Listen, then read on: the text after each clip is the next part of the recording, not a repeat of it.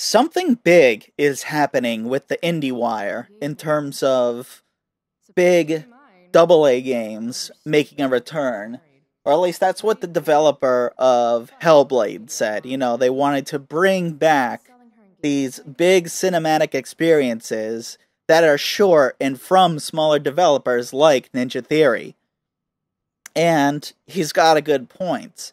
Going back through just this year alone, on top of Hellblade, we also have the criminally underrated Get Even, a game that really, really explores the concept of trauma and memories, and really just is a very intense psychological game that makes you feel like you are constantly being evaluated as you play.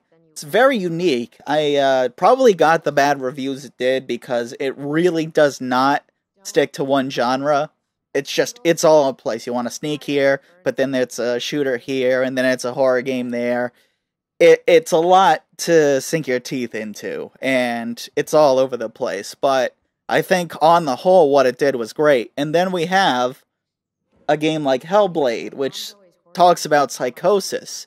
It used the, it had all these medical professionals who uh, were experts in the psychiatric industry, and they were there to advise the team on these conditions of psychosis. The main character, she hears these voices, and she has a rationality for them but you know, you as the player, you don't know if it's real or not.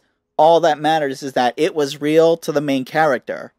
And they did a lot to make this work. They had a binaural microphone and they had all these voices go by it. And yeah, you have another very interesting experience at a very low price. And then you look at recently we got in this year Life is Strange Before the Storm, which is, you know, a prequel to Life is Strange, which was, I'm no doubt about it. Most of it was, you know, teenager drama simulator, but that's important because being a teenager in that environment is such a hard time. And then adding the weight of what you had to do in the original game on top of that means a lot to a lot of gamers and to a lot of people. So, you also now have Life is Strange Before the Storm, which essentially is just a big what's Chloe's problem? What is this character's big deal? Why is she such a bitch? And then it shows you. And it's it's about loss. It's about, you know, dealing with very real issues while being a young person. Some people don't like the game because, you know, it's cringy, they say, or, you know, it's annoying. But like it or not, that's what it's like. That's what it's like to experience that level of emotional drama when you're that age.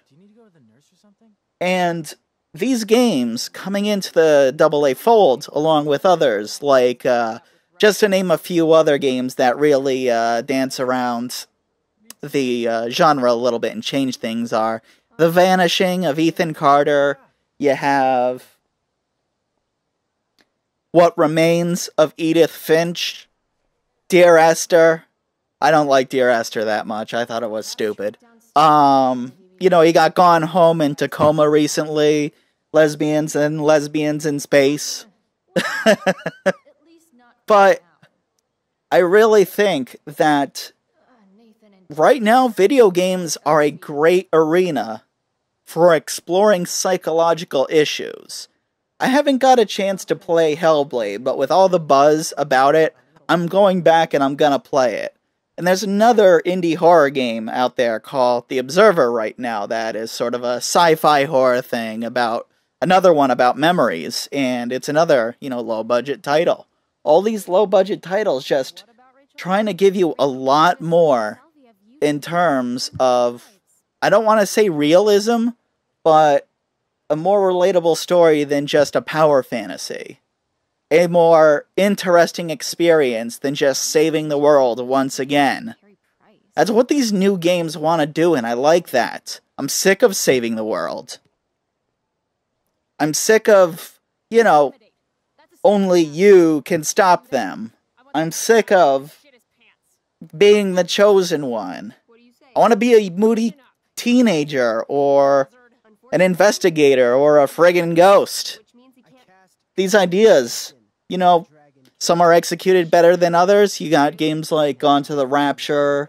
You got games. There's just a lot of narrative experience games out there now. These alleged walking simulators and to games where that you get these games where you're solving puzzles and it's just it's a lot more human and we need more of that. And I think now more than ever, video games are embracing that. And that is a great trend that I hope continues for the rest of the year. So, just to wrap things up, I just finished the most recent Life is Strange installment. It was the first episode of uh, Before the Storm.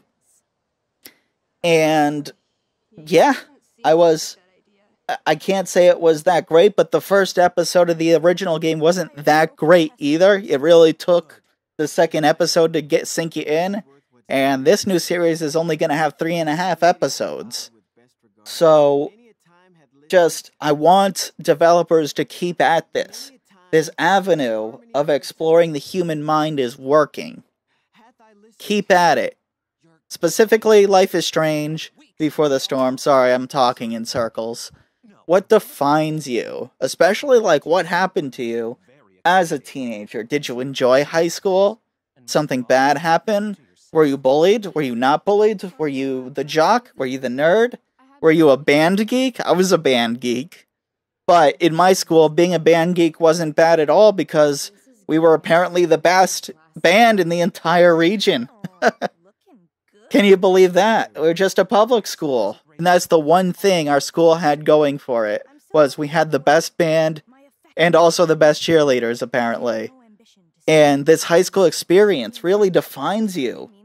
And that's what you're seeing unfold when you play this game, Life is Strange Before the Storm, because you don't get superpowers, you don't get any sort of agency. You just have to face these problems like a regular person.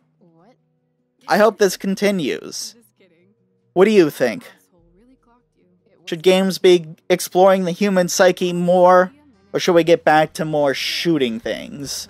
Because, yeah, I like shooting things too, but this human psyche thing, it's not even close to getting old yet. It's just getting started, and I want it to continue. Like and subscribe, comment below what you think is best in this new arena of game design, and let me know. Subscribe to Hard Mode Gamers. This is Chet, and enjoy the rest of your night.